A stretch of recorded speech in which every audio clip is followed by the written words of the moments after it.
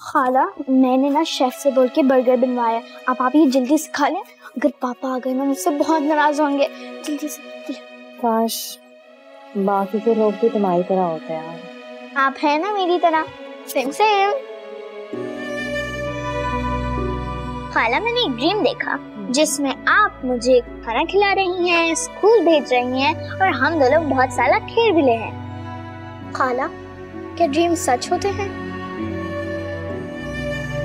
तो थे लेकिन मैं आपको जाना नहीं दूँगी मैं कहीं नहीं जाऊँगी तुम्हारे पास ही रहूँगी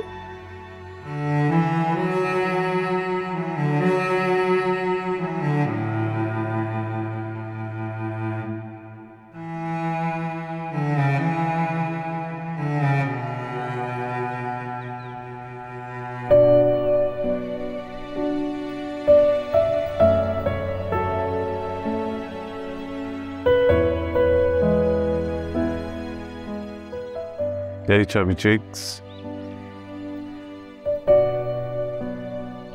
क्या सोच रहे हो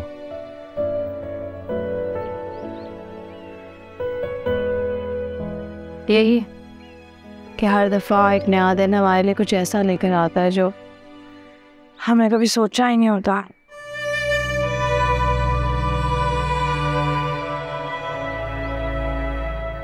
देखो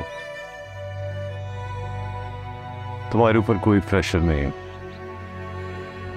मुझे मुझे आयान प्यारी ज़रूर है, पर उसकी ख्वाहिश पर भी मैं तुम्हें कुर्बान नहीं कर सकता।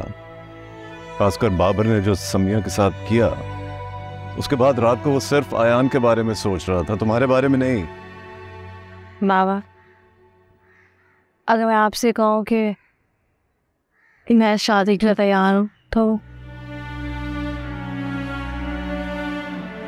तो मैं इसको तुम्हारी जज्बातियत और कल रात के वाक़े का स्ट्रेस कहूँगा इसलिए मैंने सुबह का वेट किया ताकि तुम थोड़ी स्टेबल हो जाओ।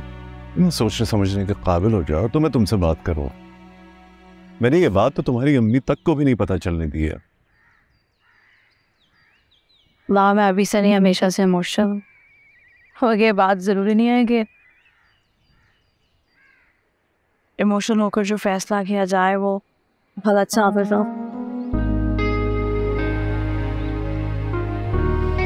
मैं बाबर को बिल्कुल ट्रस्ट नहीं करता मैं उसको अपनी एक और बेटी नहीं दे सकता ताकि वो उसे भी मार दे। हाँ बाबर भाई को ट्रस्ट नहीं करते। हमें अपने आप को ट्रस्ट नहीं करती बाबा।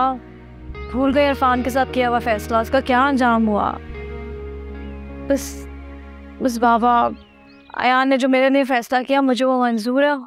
हो सकता है कि ये मेरी किस्मत में हो। नहीं नहीं नहीं नहीं नहीं नहीं ये तुम्हारी किस्मत नहीं है।